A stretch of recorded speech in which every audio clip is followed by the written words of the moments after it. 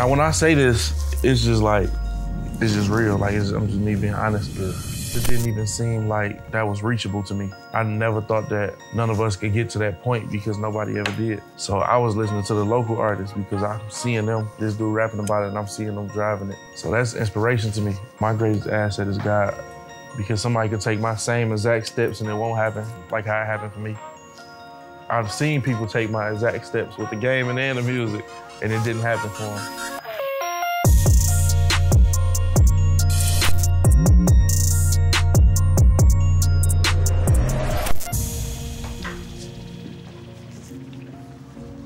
What's good, my guy? What up, though? What up, though? What up, though, man? Hey, been good. How you, man? Man, good, good. Blessed. Tee Grizzley, what's good, my brother? What's going on, man? What it do? What's the deal? Yeah, man. Thank you for joining us. Man, I appreciate y'all for having me, though, for real. Yeah, yeah. And we've been trying to link for a while, so I'm glad we got a chance to do this right before your project is about to come out. Mm-hmm. So we got a lot to talk about on the business side, the gaming side, but I want to start with the music Mm-hmm. because um, it's an interesting story. Actually, how we got introduced to your music, we was in LA. I don't even know if you remember this. We was in LA at a party, and they played the song 30 times in a row. Mm-hmm. I thought you was from LA. Cause the way that they was playing it, I'm like, oh, he gotta be like a local LA artist, like he's from Compton or something. Yeah. And the lyrics was just so like hard. I'm like, yo, the, who is this kid? Like, you know what I'm Yeah, saying? yeah, Like literally, they played the song 30 times in a row. And then when we got back home, it just started to blow up. Like when you was recording that that song, Mhm. first day out, did you know like the impact it was gonna have, and not even just on like being a big song, but we go to Detroit a lot, and they were saying like that even ushered in a new wave of the Detroit wave that's out now. Like they, a lot of the guys credit you for that. Mm-hmm. Did you know when you was recording that song like that's gonna be one of them ones that just lived throughout hip hop history? Nah, I ain't. It's I always had a passion for rapping. You know what I'm saying for music, but I never thought or I never saw myself being a part of hip hop history in that type of way, having that much of an impact. You know, I never thought I'd be the one to open the door for like a whole new era in the city. You feel me? It was all a surprise to me. Yeah, it's crazy because the song has success, but I'll never forget uh, Jay Z's going into the Rock and Roll Hall of Fame, and he never tweets, right? But he starts tweeting out all the people he thinks, and his last tweet is the Tee Grizzley got the hardest shit out. Yeah. Like when you saw that coming from a guy like that and everything he means to the culture, what, what did that feel like for you? I had to go make sure it was real. you know what I'm saying? I had to go do some double checking because I, I never heard of him having no Twitter. Yeah. And then when I saw the name, it was like SC. I'm like, what you know? Yeah. I'm like, this really him? And they was like, no, that's really his page. Like, that's really him. You know, and that, that just felt good. That felt good. Jay Z was like my pop's favorite rapper too. And my pop's passed, so that meant a lot, you know? That's crazy. Yeah, how's it to put, you know, like I said, Detroit back on the map? Detroit was always on the map, but, you know, y'all got a whole new wave going. Like, mm-hmm. how is it to be a, a representative of Detroit, a city with, you know, such a rich history? Yeah, it, I mean, it, it feels great, and it feels so meaningful because what I'm doing, I'm kind of showing, shedding the light on the other side of Detroit.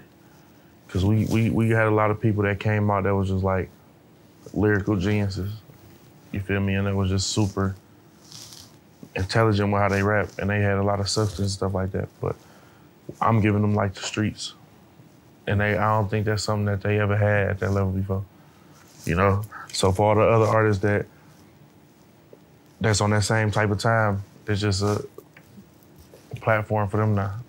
Yeah, it's interesting. You, you, I wonder, as a kid, you said your dad. That kind of made me feel a little old. You said your dad, mm-hmm. his favorite rapper was Jay Z. So who were the influence in rap for you to say that this is what I want to do, right? Because from your city, obviously, M, everybody knows M and Sean, but those are different type of MCs. You, like you said, you got like more of the streets type of element into you. So who who was influence you at an early age? Yeah.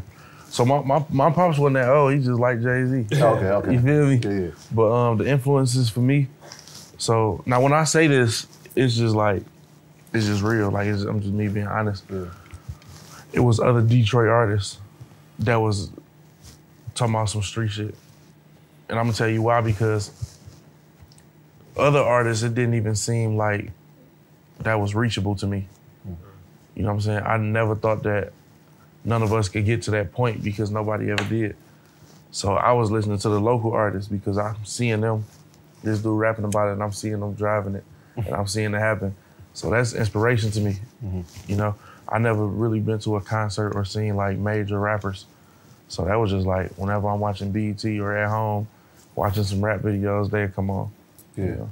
Is because we, we've been there, like you said, a few times, and every time I see a bill, it's a lot of just Detroit artists. So that makes perfect sense. But the music game is a business as well, right? So the other part of music is the business. When did you start realizing that this is a business and this is something that I can make money off of? I ain't start I ain't start realizing that until I started seeing the Jay Z tweets. You know what I'm saying? The LeBron listening to it, and like people calling for shows all across the nation, and it's like that's when I started realizing, okay, it's real. Yeah. So that set it Yeah. off. People that that tweet set off the momentum. Say, who is this guy? We need to find him. We need to I book don't, him. I don't think it's up the momentum. Mm. I think what it did is it just let me know, like, all right, it's serious. This is bigger than what I thought. Were you on the label when you came out with the song? No. It was independent. hmm So at what point do you start to get educated? Like who helps educate you on, yo, this is this is how it works. You got to get a manager. We're gonna go on the road. We're gonna talk to labels. Like, because you're coming from a city where it's not like New York or Atlanta where the labels are already there. Exactly. So who educated you on that? nobody. It was like had to learn from experience. You know, it was me and my auntie, and we just learning as we go. You feel me? Because like I said, I it was never nobody from the scene, from the industry that we could just call or that we had connections with. You feel me? So So how'd you push that record though? Because like I said, like we heard it in L.A. Mm-hmm. So it, it was it was it was getting pushed. How was how did you as an independent artist make that record and, and how how did it get to be such a big record? I'm gonna keep it a buck. I ain't. I didn't do nothing, bro. I had 2,500 followers when I That, first. when that record came out, yeah, when I first dropped it, and it just started going organically. You know what I'm saying? the I- DJs, the local DJs just started playing. Yeah, because I feel like the streets was rocking with it so heavy that the DJs was like, we gonna play with the streets rocking with. You feel me? And it's just because of the authenticity of the music. It's real, you know what I'm saying? People feel it differently. It ain't me just on there trying to sound sweet or be swaggy. I'm just giving them real life and it just touched them, you know? I like that. When I hear it, that truth, it reminds me when I used to listen to Beanie Sigel. Mm-hmm. And I felt like there was that real truth bars inside there. So a- a- as you're figuring this thing out, right, ha- what's the process now when I got to book shows and I got to sign deals? Is it is you and your auntie just walking into these meetings? Yeah, yeah, literally, that's it. That's it. We eventually um, ended up meeting with 300, Celine from 300, and um, I just liked that they vibe and their energy. And once we went with them and got with them and got the ball rolling, it's just been, Clicking. yeah, up ever since for real. So you're doing the music, and you're still relatively new in your career, right? Like it's not like you've been doing music for like 10, 15 years. Mhm. You start pivoting into into gaming, Mm. which is why we're in this this environment that we're in now. Yeah, Where does that come from? You always was a gamer? always. So Before I fell in love with music, I was in love with playing the game. what's, Alright. what's your favorite game? Let's do this. It, it depends because I had different, I had different areas of my life with the game and stuff. Like if you want to go back, back, then you got the 007 GoldenEye days Okay. on the Nintendo 64, and then you got the Spyros, the Twisted Metals, the Tony Hawks, you know. Then the Grand Theft, the first Grand Theft Auto, when the screen was like from the top. Yeah, yeah, the aerial screen. You feel me? Yeah, yeah, yeah. Yeah, like I just was always in the game. So you never was like playing uh, Madden or NBA 2K or NBA Live. and- I play. I play. Um, I play. I don't know if you know about it. It's called Ballers.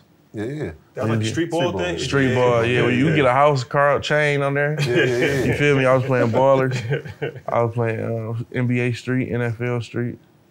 You feel me? Oh, you're a real gamer, man. Yeah, I played Blitz football. Okay. I was you good do at like the Blitz. alternative, Yeah, That's the not like the regular. Yeah. like the street ball. Yeah, I, I grew up on that. So when you said Golden, now I'm like, ah, no, this guy's a real gamer. I grew up on that. Yeah. Um, I actually was a gamer, man. So it's interesting to hear your story because around the early 2000s is when GTA 3 comes out.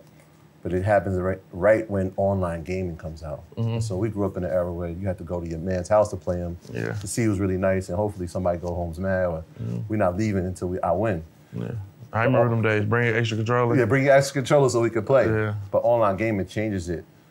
And so talk about that from that point where you're now playing online to figuring out, all right, well, this is something that people are making money off of. So when it first came out, or when, when people was like initially heavy on the online gaming, I wouldn't. I was I was outside so much because I'm at this point where like, all right, bet I'm getting ready to get out of school, you know, and ain't nobody gonna make sure I'm doing what I'm supposed to do no more. Like once you graduate high school, ain't, ain't nobody else. It's all on you after that. Mm-hmm. So I was always trying to figure out what I'm about to do when I leave here, and I kind of got away from it for a long time, like the game and stuff like that. So I didn't get to experience the first online gaming experience. The first wave. Yeah, the first wave for sure. Yeah. I- I- the, the, the interesting thing is, is like a little known fact, but say they started doing the Madden tournaments, and that was mm-hmm. the first time people were getting paid. And then they had the NBA Live tournaments. I got actually got invited on the bus. I was that good. Yeah. I didn't. I chose to teach instead of playing video games. Yeah. And so then I, I think they started having online games inside of Call of Duties, and now people are getting paid. And so you're starting to watch kids now play, but in Call of Duty, those battle sports, you know, the, the, the war games and the, the first person shooters, that starts to happen. Tournaments start to happen. Are you now, when you start seeing that, is it like, I need to get back into this because there's tournaments that are paying? Well, what, what is the thing that sparks it? Like, I need to get back into it. It's so crazy because I was never I was never seeing that. Hmm. Like I was never seeing that. What made me get on it though, like when COVID had hit. Oh, 2020. Okay. When COVID had hit, I had when they bought a system. When I'm about to be in here, I can't just. I didn't watch Game of Thrones the whole thing. you feel me? I gotta. I need something. Yeah. You know, and everybody in the crib. So I know about online gaming at this point. So I'm like, all right, bet we can just run Call of Duty. And as I'm playing, I'm just meeting people online, and you know, they not even believing it's me. You feel me? They And just then- hear your voice. yeah. and then I ran into a couple people that are like, bro, you should stream. You feel me? Like you should stream this. Like people will really rock with you. You feel me? And I didn't know what he was talking about. I'm like, how do you stream? Like, what is the streaming? And I had somebody just come to the crib, and he was like, I'm gonna set everything up for you. All you gotta do is click this button. When you click this button, you live. So be careful. Don't say that. yeah. Whenever you click this button, just watch what you say from this point on. You know, and I started messing with it, started going live, and people started rocking with it. Eventually, I end up getting into GTA from Call of Duty. Yeah, it's been crazy. So my son is a gamer, and um, he's heavily into games. And I'm from an era where I never really played video games like that, but I did play, but I didn't. I never. It wasn't streaming when we was playing video games. We was just playing against e- each other. Me too. So it's still hard for me to fully understand streaming, but I see mm-hmm. like Hassan and I see how it's moving, Twitch and everything. For people like me who's not in the world, can mm-hmm. you explain streaming culture mm-hmm. and why? Like I don't understand why people watch somebody play a video game, but I understand that there's a culture behind it. So can you explain like the whole streaming culture? Yeah. So I mean, well, I don't know because it's like I went from the old way straight to the new way. Like I said, I put the game down for a minute, then picked it up right in the middle of the streaming thing. So I really like can tell you more about. You gotta leave your game on. If you ain't got no memory card, you got to start all over. you feel me? That's really like my expertise. But with the streaming today, what I learned is basically like if you got the phone flipped on you and you just press record, and a bunch of people can watch you and comment and subscribe to you, and you just build a community. I feel like that's that's the main thing that I get from it. So they're getting to interact with you on a personal level, kind of, Yeah. while you're playing video games. And while you're playing video games, you might be talking about rap, you might be talking about fashion, a variety of other things. It's like going live on Instagram, pretty much. Yeah, yeah. It's like it's like going live on Instagram, but ga- the gaming thing different though because when you when I if I'm live on Instagram, I'm still an artist. Yeah. I still gotta be cool. You feel me? When I'm on a game, I'm disconnected from everything. So you- you're, you're walking around as your avatar. Y'all going through maps. Y'all jacking cars. Y'all going on missions. and people are watching that, Mm-hmm. but some people are actually in the world with you, like going through these things. Yeah, for sure. So, like, wh- what do you think it was about you that attracted people to say, I, I need to be a part of that world? They got something going on over there. Yeah, because I try to play. I try to stream a lot of different games, and a lot of them for me. And then when I finally got on GTA, it's like, damn, this is like our culture. This is for me. I can play this role perfectly. we jacking cars. You feel me? We, So we I'm, robbing. exactly. So I'm a lot of dudes who was like actually in the streets. You know, I'm telling them to get on the game. Like it's a lot of dudes from Jersey, from the South, like everywhere, that was really in the streets that's on the game now, and it's so fun and interesting and exciting to watch because instead of really doing it in real life, people doing it out here. You know what I'm saying? And it's just way better. It's essentially like watching sports.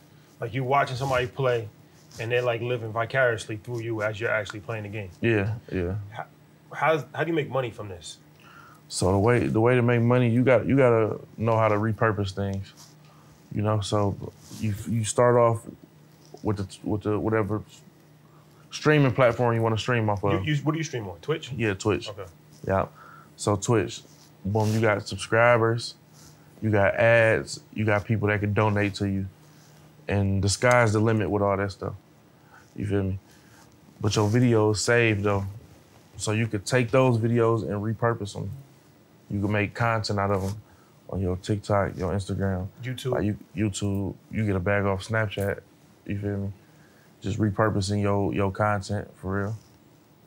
So, so your man tells you, the story is, or the legend is that your man tells you you can make like five thousand dollars a month if you do this right. Yeah, that's when I was playing Call of Duty. When you're playing Call of Duty, yeah, yeah, yeah. and that quickly turned to something that you didn't. You were like, wait, we're gonna make way more than that. What?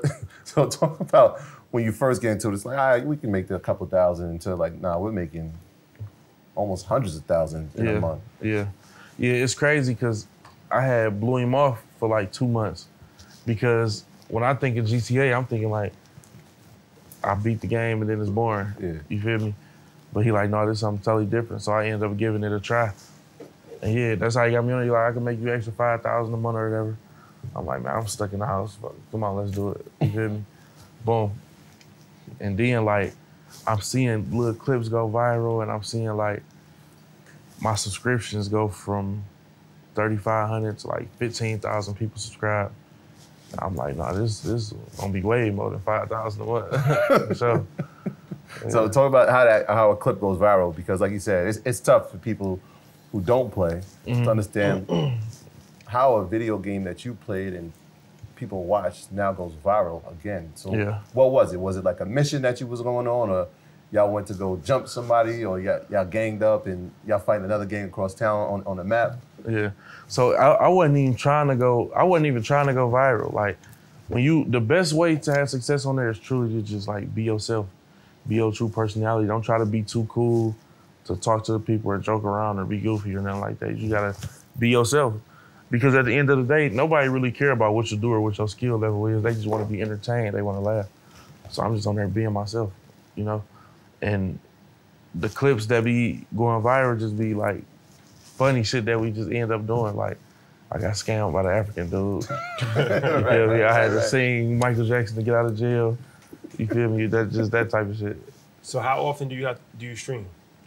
Um, not as often as I would like to because it, it's like I got two jobs now. you know, with the music and the game, and I, of course, got to balance out real life with family. So, whenever I can, I definitely try to for sure. But it's not like a set schedule. How how uh, how important or what impact does the actual music have on your growth of your subscribers? Right, like I can imagine listening to a record and like you're actually doing something that you said in the song while you're playing the game. No, facts, facts, facts. It's so it's so crazy because I don't know if music have a huge impact on it because there's a lot of fans that I that I got from gaming that don't even know I rap, and I still got a lot of music fans who don't know I play game. You Right. feel me? So it's like it's like two literally like two cars. So you essentially just built yourself as one of the top gamers organically. Yeah, it right. wasn't like just off of the music. Follow me on Twitch. Exactly. You No, I- really, you really embedded it with the culture. Yeah, for sure. Cause I didn't even want to promote on my socials that I'm on here playing the game Wow. because I wanted to be. I didn't want it to be like the music fans. I wanted just to be a genuine community that I built. You know, but like I said, with clips and stuff just going, then everybody eventually find out. But mm-hmm. I just wanted to build a g- gaming community though. How much money can you make doing this? You can make millions doing it. Millions of dollars. You can make millions doing it. I've made millions from doing it. and and this is from people that's paying to watch you. From Just from people paying to watch and you repurposing your content. what's more lucrative for you right now, music or gaming? Music. Music. Yeah, music. Yeah. So you're always going to keep that as the main thing. Yeah, for music is still the number one thing, Yeah, for sure. and game is number two. Yeah. How, how do you go about It's like a baseball contract and a basketball Like contract. Deion, like Deion. real prime time? yeah, yeah, yeah. legend in two games. That's a Yeah. fact.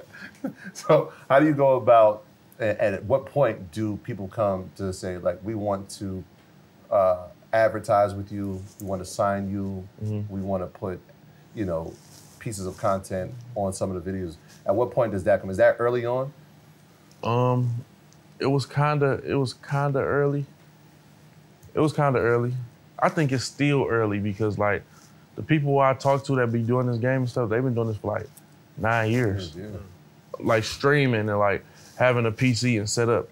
I just found out about a PC like 2021, you know? So I think it's still early. So I would say, yeah. So you're, you're officially, I mean, you're an esports person Mm-hmm. in a sense. Have brands come to you, like the esports gaming community, to Yeah. have you join them Yeah. and be part of them? Yeah, for sure. Yeah, because Like, we, know we um, saw FaZe Clan, but No, I like XSET. Yeah, I'm with XSET. okay. Yeah. So they, they approach you with a deal. They watch what you're doing in streaming. Mm-hmm. What is that like? Um, I mean, it's dope because they've been in it for so long and they so way more knowledgeable than me in the space. So they gon' it's easy for them to bring opportunities. You know what I'm saying? And as long as I'm doing my part and by them already having the Rolodex, it's just like you just keep doing your part and we just gonna send them. So in a sense, it's almost like a label. Kinda, yeah. Like you signed to a label in this space, and Yeah. now they can bring opportunities to you. yeah. Has other rappers approached you like trying to get into gaming and want to like you to help them navigate that? Yeah, but see, like a lot of rappers that come around and they just do it wrong. Just for the money? Yeah. Yeah. I understand you doing it for the money. Like I get that. But you gotta know how to do it. You can do it. You your reason can be your reason, but as long as you know how to do it, you good. So what A lot of mistake, what mistakes are they making? When you come on there, you you you trying to be too cool. Mm. You still the rapper. you got the sunglasses on. You feel me? this ain't this ain't after the show. You feel me? Like kick it with the people and just like be yourself and let people find out who the person is. Well, that's interesting. Let me follow up. So there's, so there's two different things. All right. So in the rapper world, you gotta be super rapper. You gotta have your chains. You gotta have your, your, sunglasses. You gotta like you know be in that vibe of a cool person. Then the gaming community is a whole different community, right? It's a lot more relaxed, fun, free going. Yeah, I, I feel like in the rapper world, you just gotta be like alert, careful. You know, like if people, if if they see, I give you example, if they see me out somewhere, nine times out of ten, I'm trying to do what I need to do and get back, or I'm trying to do the show and then I'm getting up out of there. I ain't really got time to really kick it. Well, let me ask you this, because Fat Joe said something to us that was very interesting. We was with Joe, shout out to Joe, and he was saying that he's like most rappers are like introverted. He's mm-hmm. like we don't like to talk to people. We don't like very non-social. Mm-hmm. That's not beneficial in the gaming world where you have to be Exactly. social, right? Exactly. That's like I say, I don't really got time to kick it, but when I'm sitting there for hours, we can talk about anything. You know, we can really kick it. I'm sitting down. I'm at. I'm gaming right now. So how do you balance? How do you go in between those two worlds? Um, I think for me, I'm just like the same person all the time, so it's not really difficult for me. You know, but the introvert thing, I feel them on that, but I feel like people make us introverts because we got like so many people trying to talk to us at one time, and it just be like, I just don't even feel like talking right now. Everybody wants something. You feel me? Like I literally don't even feel like talking. It be days where I just want to be quiet the whole day. I didn't talk so much. You feel me? That's crazy. Yeah, I mean, it makes perfect sense that that constant pressure of somebody wanting something from you, somebody needing something from you. I feel like the the gaming almost could be a relief, whereas I could just really Disconnect from the world. Connect, dis- Yeah. disconnect, but still be connected in the sense where Yeah. people actually get to have dialogue, they get to see your real personality, Yeah. some of the things that you like, while having fun, because it's still fun. It's it's it's so it's it's it's like therapy for me because it's like you just really truly disconnect from the world, bro. Don't nothing matter but this right now. This is a fast financial fact sponsored by Xfinity. This week's fact Setting clear and specific financial goals can help you stay motivated and focused on your financial journey. When setting a goal, be sure to take into account the following. Make sure your goal is realistic and attainable based on past performance and market conditions. A clear timeline should be outlined for the next fiscal year, providing a clear deadline for achieving the goal. Assets over Liabilities is presented by Xfinity. So, how many subscribers do you have presently? Presently, and mind you, like I haven't been on there consistently, none really this year, but I still got like seven thousand subs. Seven thousand subs. Yeah. Now, in order, so I, I was, I, Like, not not everybody can't do the same thing though. Like okay. if you own it, you have to be consistent.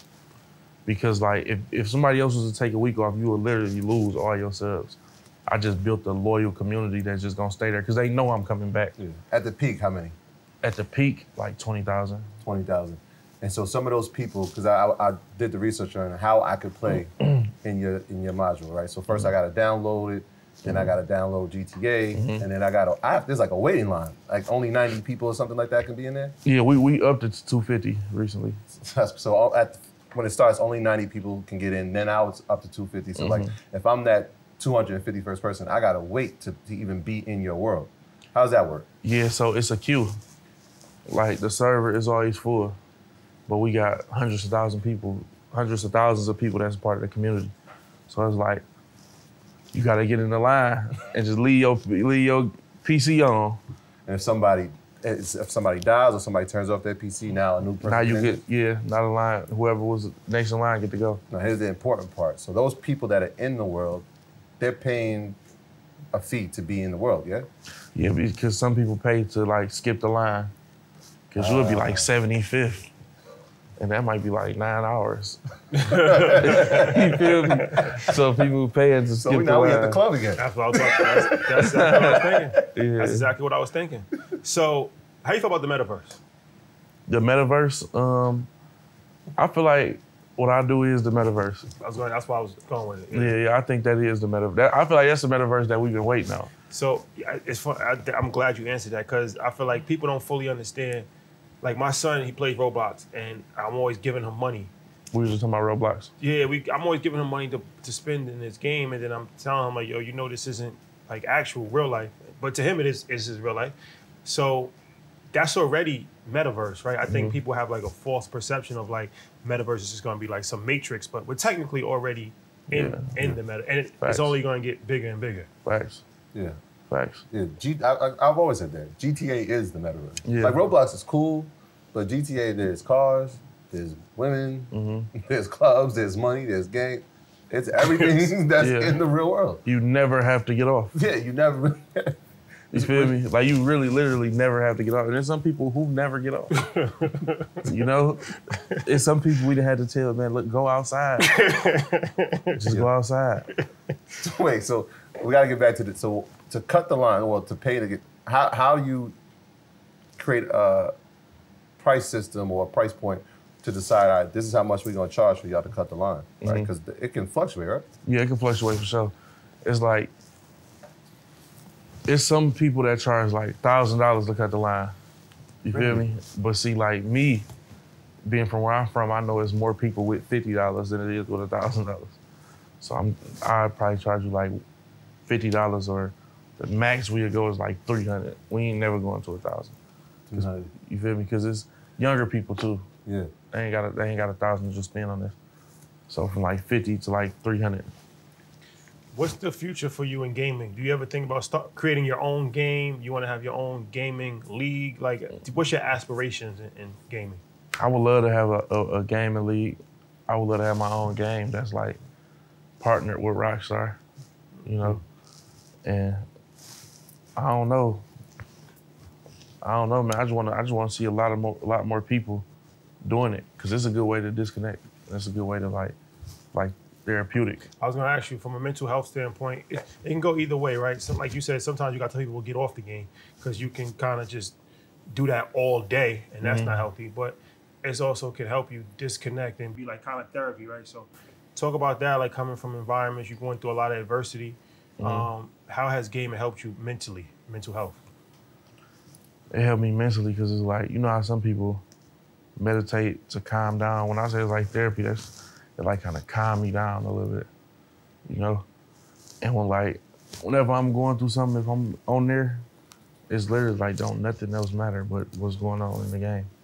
That's my only objective is to do what I need to do on there, and to just have that peace for that minute, and not worry about what I really got to get off here and deal with. It just make you go about things way better. Like once I get off, I can handle things way better.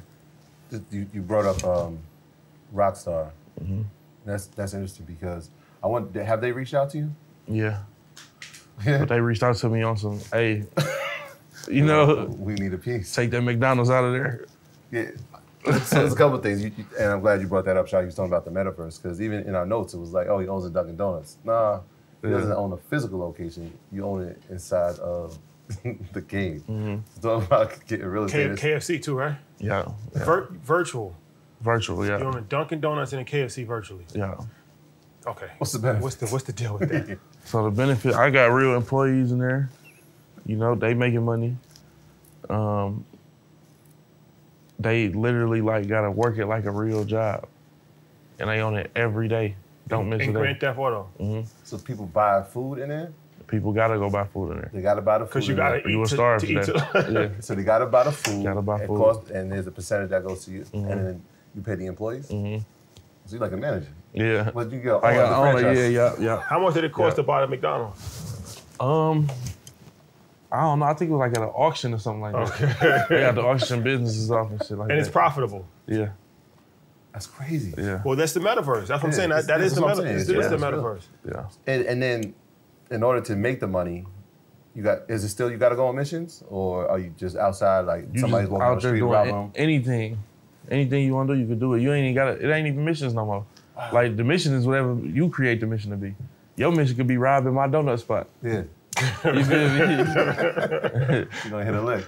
yeah. Oh, so if your donut stops get robbed, you actually take a loss. like not real life, but yeah. Oh, okay, okay. But yeah, in there though. So I here's the big question, right? That was GTA, and that was 5 Mm-hmm. But we know what's coming around the corner. Yeah. GTA Six. Are they? Have you seen previews of it? Are you already creating a business plan when that drops? Because I Mm-hmm. feel like when that when that one hits, it's going to be, especially what's going on. This is going to be something that's going to shift. I, I say that because in when GTA Three, we talked about the aerial view when it went Mm-hmm. to the first person, you can see Tony running through the streets. That changed everything. Like For sure. I stopped. Like I was in college. Like I'm missing class for this. Yeah. What, what, what are you What are you planning for for the new Wow, one? that definitely changed everything for sure. um, when GTA 6 dropped, I'm definitely gonna have to play GTA 6 and then it's Grizzley Road 2.0. You feel me? Back at it. Yeah, GTA 6 is gonna be for me Grizzley Road oh. 2.0.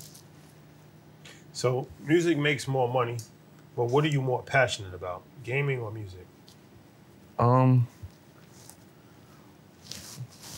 I'm more. I'm still more passionate about music, but I like the space, the mental space that I be in with gaming more, because with music it's a lot more opinions. It's a lot more opinions, you know, and it kind of can confuse you, as far as like, damn, what to do, or what they want, you know, versus gaming where you literally just do anything.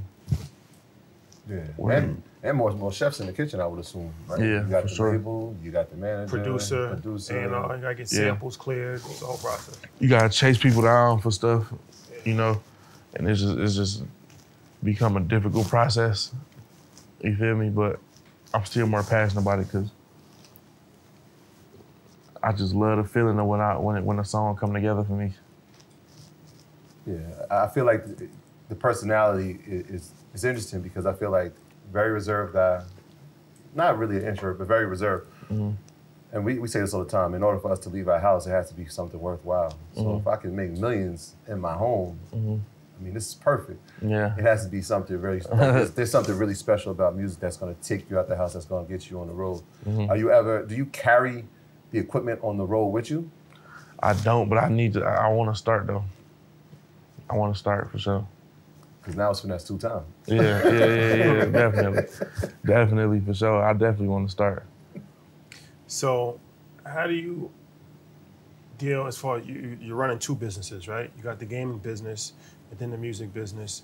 Um, how does that look as far as like the help support system, like as far as employees and people that are like your manager and different things of that nature? Is it one set of people that you work with for music and then another set of people that work with the gaming, or everybody just kind of works together? It's kind of like a mixture. Like it's, it'll be one person that help with both, and then it'll be some just people who strictly just do gaming. just people who strictly do music, and then you got them few people who help with both. You know, like a mixture. So we got money coming from both avenues, right? Mm-hmm. That, that's incredible. But one of the most important things that we see is being able to manage money, mm-hmm. being financially disciplined with the money. Mm-hmm. How's that process been for you as as you're accumulating more money than you've seen in your life, and now more people are calling you because they need you, more family needs you. How's that? How's that been for you? Yeah, so I I, I done went through through the phase where I was like, all right, but I done messed up a lot of money. I done went through that phase. I'm not trying to mess up no more money, right? and then it was a phase where, well, it's like a bunch of people was just pulling and reaching for it, you know, and it's like I had to learn it's healthy to say no.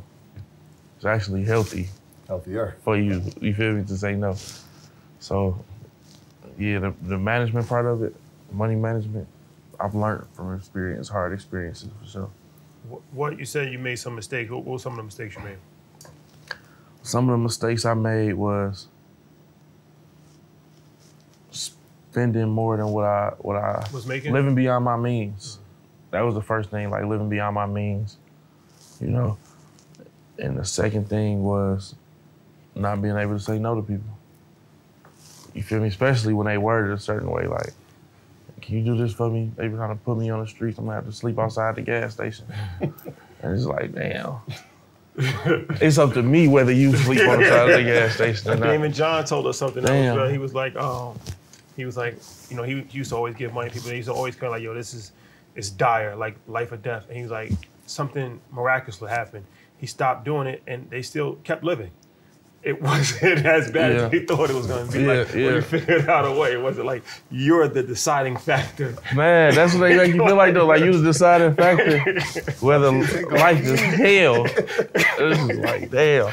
You know, um, so what's XSET? Yeah. Working with ex-convicts that getting them involved in gaming. Um, I definitely got a lot of ex convicts that's involved in gaming for sure. But XSET is like a, it's like a org. You know, it's an org of people who was a part of different orgs, but then started their own with the with the with, with what they feel like was missing from the other orgs. Do- When, when you're trying to talk to the, your, your homies, like, Yo, this is the way to get money, I wonder, what are those conversations like, right? Are they like, ah, whatever, I ain't doing that. Nah, bro, like, uh, let me show you the, like, how we really doing this. Like, what, what are those conversations like in the early stages when you're first trying to tell them, look, we don't have to stay out here anymore. Like, we can go inside and play games. Yeah. It's crazy because they be wanting to do it. Mm. They be wanting to do it. It's either they want to do it and it's look interesting, they get on there and have fun, or they don't plan on doing it at all and they just don't do it. You feel me? But most of the time though, the guys be wanting to You, you got, because it look fun. It's like the stuff that we really would do. and you got jobs for them. You feel me? Exactly, for sure. So, do you think that this will become bigger in hip hop culture? Um, as far as like people always play video games, but I mean, as far as like people really merging Mm-hmm. two worlds together of gaming and hip hop, maybe like a, a an event where it's like gaming, but then somebody performs. Like you know, you, you see that happening? Yeah, I feel like if artists allow themselves to just be themselves when it comes to the gaming platform, because we was all gamers before we was artists anyway. Mm-hmm. So if they just allow themselves to be themselves, then I feel like it'll be a, it'll definitely be a bridge between the gap for sure. It's interesting. You got the real estate inside of, of GTA. Mm-hmm. When we go to Detroit, and even before we got there, everybody just kept telling us, "You need to buy real estate in Detroit. Mm-hmm. There's there's plenty of opportunities here. There's, there's room for growth." Are you interested, or are you involved in real estate, physical real estate in, in the city of Detroit? Um, I know that it's, it's it's great real estate opportunities out there for sure. I'm not involved in it. I just really don't got the time to be super hands on with it. Yeah, I, And when I take on a project, I really like to be like, I got a million questions. I want to be there every step of the way. I need to know what's going on. I just don't even got. I don't want to worry myself with something else right now. yeah. I, I asked because I heard the lyric. It said my, my credit score 800. Yeah, They can't discredit me no more. So Yeah. I'm like, oh, yeah, most people don't even know their credit score. yeah. No, facts, you know what I'm saying? So like, even you saying it, people going like, oh wait, Rizzy got 800. No, I got the app on my phone and everything. I've been on the, I've been on the credit thing for sure. So what made you what made you get into that? Like even caring about your credit? Like was there a situation that happened where you like I gotta get better credit or? Um, no, it wasn't no situation. It was just like my wife, like, we about to get this house, like, I need to pull your credit. I'm like, what that mean? You know, we gotta get you together. It just got me together for real on the credit side. So and you, you got your merch. Mhm. You're going crazy. Mhm. Talk about that. Um, Grizzley Gang. yeah, yeah. So the merch thing, I ain't never really like. I don't want to. I, I, I want it to be like special, and I want everybody to be able to have it. I want people that's really gonna like cherish it and care about it. So I only even market it in certain places. You feel me? So, Limited limited drops. yeah, limited drops, limited colors. Like if I, I be want to drop this color, if I drop this color, it never come out again. And if I see you at the show with it, then I'm a okay. You got the exclusive. I know you, feel me? got it. Yeah, type stuff. Yeah, it's interesting because even if you look at your socials, even on YouTube, there's no marketing campaign for it. So it's it, it's something that the loyal community and loyal followers and fans they just have to know about it. You gotta know. Yeah, If you know, you know. yeah, yeah, for sure. That's that's the marketing campaign. Yeah, yeah. So the first day out is arguably like the greatest song when it comes to like prison. Mhm. It's one of the greatest prison songs ever, for sure. And anybody that has either went through it or you know everybody has gone through that situation and some from like their friends, their cousins going to court, and you kind of if you're in some level of an environment, even if you didn't do it yourself, you're you're familiar with the things that you're talking about. Prison reform is something that's real big right now. You know, um, what are your thoughts on prison reform and helping people get their life back on track when they are released from the penitentiary, or even programs in the penitentiary that could actually be beneficial for people? It's so hard because once you actually in there behind the walls, you realize like it's this not they not there's nothing happening to rehabilitate people. There's nothing happening to get people back ready for society again. It's people who don't even want to go home because they've been locked up for so long, and it's like, what I'm gonna do when I get out there? Yeah. You know, like I've been in there with people who like, I came here just to get some food and have a bed to sleep in. Mm. It ain't nothing for me out there. So, I feel like th- they just got to do better as far as getting people ready to come back out here into the world among society. You know, you do got them certain people who take the proper steps while they in there and have good outside resources and got their head on straight to use that as a time to just get polished, read, study up on some stuff, and come up with a plan what they gonna do when they get out. You know, but other people just they're doing their time and just waiting they, when they get out. Once they get out, it's like, all right, bet, what you gonna do now? This is in the first day out, perfect title. While you're in there, are you strategizing? Are you putting a plan together while you're in there? Like, this is how I'm going to attack it as soon as I hit the streets. Because I, I mean, when we heard that line, like, being broke did something to my spirit, I felt that, mm-hmm. right? From, especially when we come from, it's like, all right, well, now we got to do something. We got to put something in action to make sure we never feel like this again. Yeah. How were you strategically planning while you was there for that first day out? man, because I'm like, I, I, I always knew the type of lifestyle I wanted to live. Like, I ain't want to be in the hood no more. You know, I wanted to like experience life and travel and see the world. I knew I wanted to do that. I'm like, "Sh- I'm gonna get there one way or the other. But before I try the other, I'm gonna give myself a chance, though. You know, I'm gonna give myself a chance and what I truly always wanted to do. You know, and when I just believed in myself and prayed hard for it and truly gave it a real shot, it worked.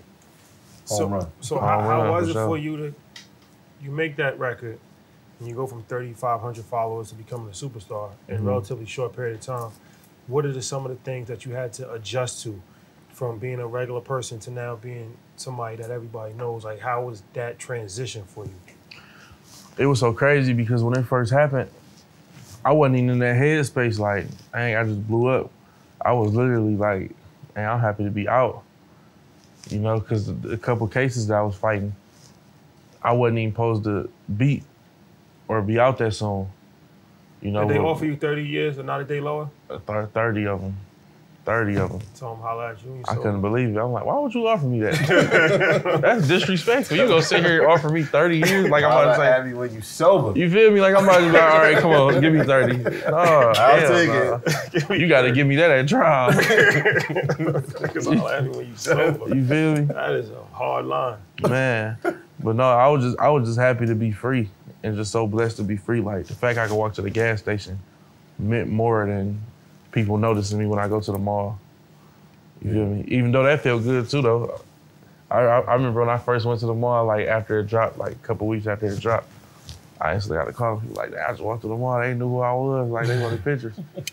I was excited about that. So for you, sure. you were still in the neighborhood? nah, You, you was out. yeah, because fame or not, you know, or successful or not, I still know the rules. You know, I'm still not about to be just walking the neighborhood like it's sweet. You know, Talk about the growth from that moment in time to what you're about to bestow upon Tee's Coney Island. Mm-hmm. Talk about the growth as an artist and the growth as inside of the music from Yeah. some of the experiences that you had over that time. Yeah, so the growth as an artist, like the first thing, I really stopped letting people have too much creative control over where I, where I go with my music because when I was writing songs like that in the beginning, like my first project, I wasn't never trying to be lyrical or trying to be like have a bunch of metaphors and punches. I really was just trying to be as real as possible vulnerable as possible, transparent as possible, what was going on in my life. My objective was to give people the chills, you know, because everybody live life, real life, mm-hmm. good, the bad, whatever. So I wanted to give people my experiences because I know you either went through it or know somebody that went through it. So you gon' feel it in your soul. So I just had to get back to a point where it's like, you know, people are, oh, you should make something like this, you should make something like that, or you should get away from that type of stuff, or these sound the same. I just had to stop letting those seeds be planted in my head and just stick to what I do because if they knew what to do, then they would be doing it. Everybody tell you how to do it, they never did it. You feel me? Talk, talk about the title though, Coney Island, because where we from, Coney Island, it's prestigious. Yeah, It's Brooklyn, yeah, home of Steph, yeah. home of Lance. Coney Island is a different meaning in the city of Detroit. Talk about that. So Coney Island in Detroit, that's like that's like a li- eh, that's like a lifesaver. You feel me? When you coming up and you ain't really got it like that, ain't no groceries in the house. You scrape up on ten dollars or something like that. You going to the Coney for sure. The Coney. you definitely going to Coney Island. Everybody in in Detroit can relate to like if you come up in poverty, like you scrape up on a couple dollars and you starving, you going to the Coney. So it's essentially a store where you can buy any type of like a lot of different type of food. It's like a it's like a bodega almost of sorts. Yeah, but everybody only get the same thing though. What you get? Cause they got a big menu, but you're not supposed to get just anything off the menu though. You What, feel what, me? what do you, what do you get? so you you can get a coney dog, That's it. but people made eating coney. dog- Yeah, but but see, people made that. People sexualized. people sexualized it, so now we can't even get conies no more. You feel me? But you get like chili fries, you get a chicken pita, you get a burger, some wings, and I feel like them the essential items. Yeah, Sexualized. Central Foods. Yeah. So you, you're not eating the glizzies no more. nah. People didn't sexualize it too crazy, bro. That's a fact. No glizzy. That is a fact. How you feel about the state of Detroit right now as far as on the music scene? We see a lot of 42 Dugg, Icewear Vezo. It's, it's uh, a lot of guys that have been come up um, over the last like five years. And like I said, you you was actually early on that, mm-hmm. helped pioneer that. that it's a new wave. Mm-hmm. How you feel about the, the music scene in Detroit right now? I feel I feel happy about it, you know, because some of these guys really been grinding for 10, 15 years, hmm. you know, and they just not popping off. People just not hearing about them, mm. but they really been doing it for like 15 years and really trying. You know, the fact that they were still doing it before they even got to the point where they are now say a lot about their perseverance. So I'm just happy they finally getting the success that they worked for, for sure. Mm. Is there anybody? I know you got the Chris Brown record, which is mm-hmm. hard. Is there somebody out there that you had on the pen list like this is I would love at some point to collaborate with them? You got a couple of people like that? Nah, I just I, I I love when things just happen genuinely. You know, like a lot of artists that um that I worked with recently, it, it just been genuine.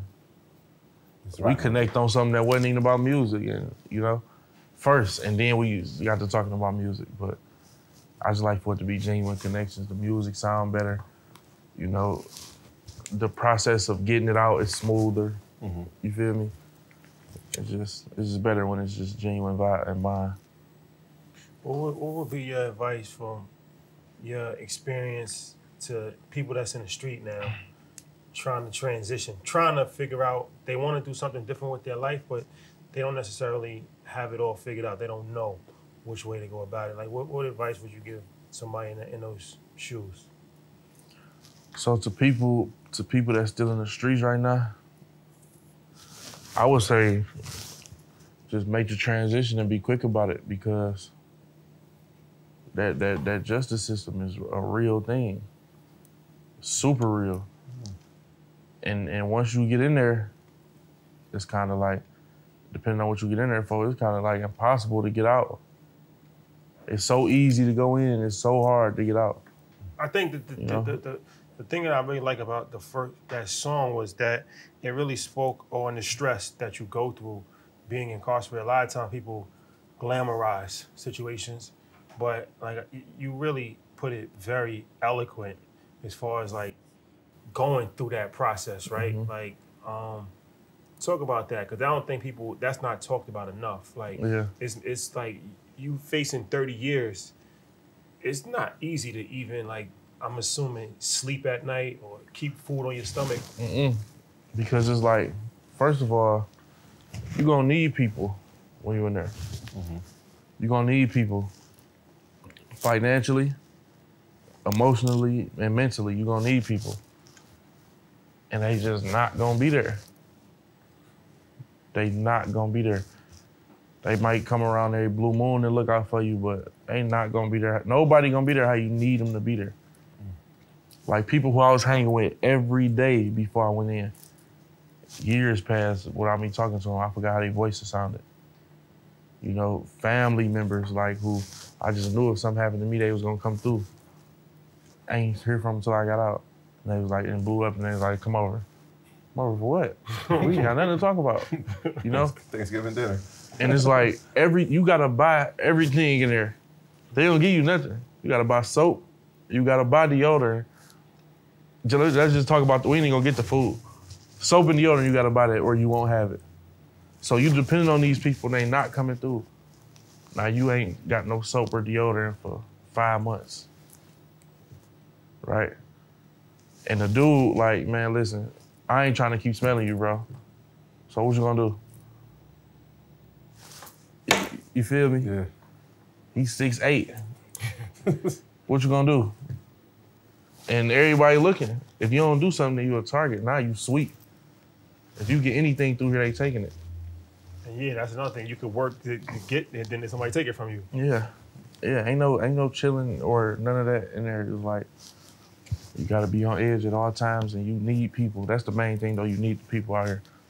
I mean, you even out here, you see how unreliable people is. Fact. That's a You fact. feel me? How many times you tell people to do something simple and they can't even do that right? So imagine something as difficult as download this app, sign into it, connect your card, and then put twenty dollars on here, and then send this person hundred dollars Yeah. You feel me? That's a fact. It just it just ain't happening. You- You're always gonna need people, um, and they could be assets. And so, the title of the show is assets or liabilities. And so, I wonder, at this point of your life, what, what is what is your greatest asset? My greatest asset is just always gonna be God for me, man. That's always gonna be my greatest asset. You know, I feel like everything that happened, it ain't had nothing to do with me, nothing to what I did. Because somebody could take my same exact steps and it won't happen mm-hmm. like how it happened for me.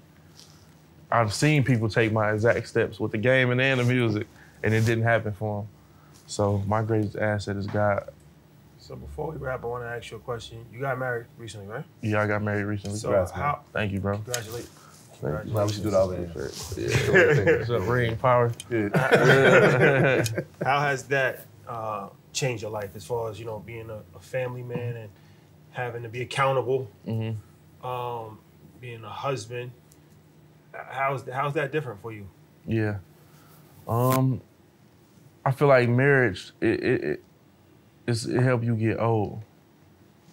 You know, it's how you get old, especially for me and where I come from. Because I got somebody to, all right, where you at? All right, it's time to, we gotta go. It's time to go. It's time to go home. Or just keeping you out of little situations that could take you off the streets. Hmm. You know, it's a lot of people who would be alive if they was married or had a relationship. They'd still be alive right now. That's what I be telling them. You feel me? Don't be listening to me. So it keeps you accountable. it keeps you accountable. It keep you out of trouble for real, and it just keep you on your feet. You got to be sharp if you married. If you married, you got to be sharp. You got to be smart. You can't just be reckless. you can't be reckless when we you about to married. go on a marriage tour. Yeah, you. yeah. Let's do it. Let's do it. Let's do it. You know what I'm saying? Get your credit score fixed. Yeah. Get you a nice house. Yeah, get polished Open some accounts. Get some Mm-hmm. brokerage account. We're gonna do it, man. Nah, facts. The the T and Tee Grizzley show. Yeah, facts. So, Let's do it. so it's, a, it's a it's a blessing to have somebody that can hold you accountable. Yes, and that, that's the big. It's a lot of benefits and a lot of things I love about it, but that's the main thing for me. You know, because that's the thing that's that's the difference between life and death. Well, I think it's important for you to share that message because once again, in hip hop, a lot of times we don't always see the full. We just hear people rap for two, three minutes at a time, but we don't get to see their life. We don't hear that testimony. That's important. Mm-hmm. What you just said might encourage somebody to get married. Mm-hmm. It might encourage somebody to start a family. Like you know what I mean, like hearing those messages are important. What you talked about prison, that's important. Mm-hmm. That might discourage somebody from committing a crime. Mm-hmm. Knowing like, yeah, damn, I'm, I'm not really trying to go through all of that. Like, you know, you don't really see that. So I think hearing it in its full totality is important as opposed to just bits and pieces of like glamorification that we just see on Instagram. No, for sure, for sure. Yeah, man, we, we appreciate you. So I told you the first line that always stuck with us is definitely, you know, um, not a day lower was, was one of them, but being broke did something to my spirit. That sat with my soul. But the other thing that always sticks in my head and it resonates with us every time is when we go to get a, a new watch. When we hit this Rollie store with the Rollie on. Yeah, yeah, yeah, Today we all out on Rollies in Yeah. honor of that line. yeah. Rolling Stone, Rolling Are you are you into watch collection Jack or is it just I like what's nice?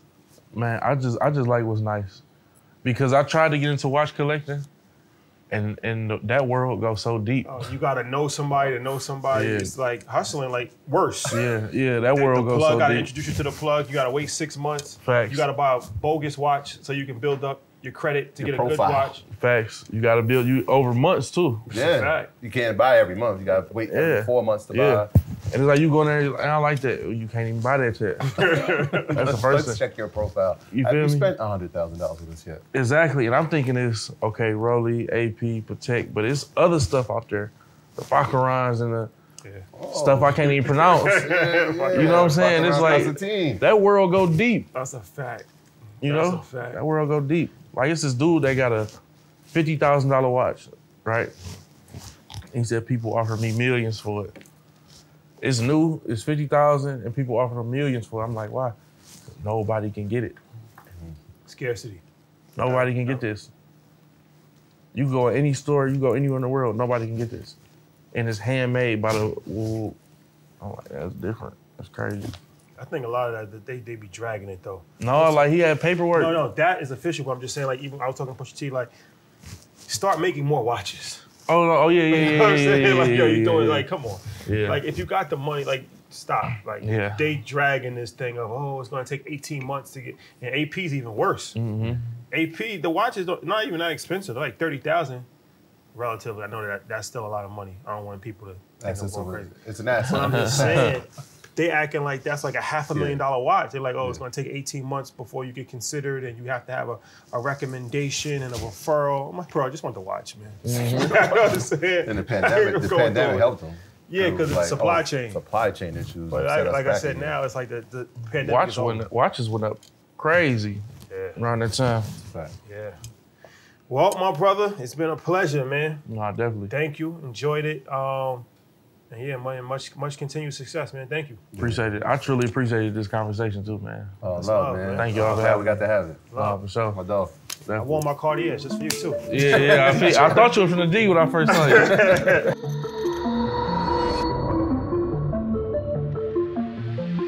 Ally is a leading digital financial service company and the nation's largest all digital bank. Ally is proud to support creators in music because they understand the economic freedom that hip hop has provided black musicians, entertainers, and entrepreneurs. With that being said, we had the opportunity to reach out to a local business while we were in Atlanta shooting with Tee Grizzley. We found a dope entrepreneur who was shaping the financial foundation and making noise within the city. We would like to officially and financially honor the hustle of Jay McAllister Events. Jay McAllister Events' passion has been to create an unforgettable, luxurious experience for their clients. The owner, Jalil McAllister, has a keen expertise for narrating and designing the story of their clients through occasions such as weddings, dinner parties, corporate events, and intimate gatherings. Let's actually hear from the owner herself, Jalil McAllister. Pleasure to meet you. How's it going? I'm well. Thank you for asking. How are you? Pleasure to have you. Let's jump right into it. We would like to ask you two questions about your perspective through entrepreneurship. Do you think your financial discipline has changed any throughout the growth of your business? How can I put this? To be able to make, so as an entrepreneur, you can make zero dollars one month and then make a hundred thousand the next month. And you got to know how to budget yourself better. I think I learned how to budget better. I learned how to stack for those months when we have slow seasons, um, and and give back more. Um, that's something that I don't talk about as much because I feel like you should just give from the heart. Um, but definitely, since being an entrepreneur, those are like two of the things that come to my mind immediately as far as like how I've changed financially. What key points can you share for those seeking to get started in entrepreneurship? when I first started, I, I tried to intern with a handful of planners. And it's so funny because those planners are my competitors today. Um, and they probably don't even know that I reached out to them. it's funny that some of them actually reached out to me for assistance. And and I'll never say like it was me, but jump out there, get started, get your feet wet. Um, social media has helped me so much. Taking a shot, reaching out to some of your your biggest influencers. I think um, one of my biggest clients today uh, was an influencer that my fiance took a shot at and DM'd her. And she's my client, been my client for the past five years, and she's one of our biggest clients today. So take a shot. You never know. There you have it, ladies and gentlemen. Financially honor the hustle, presented by Ally.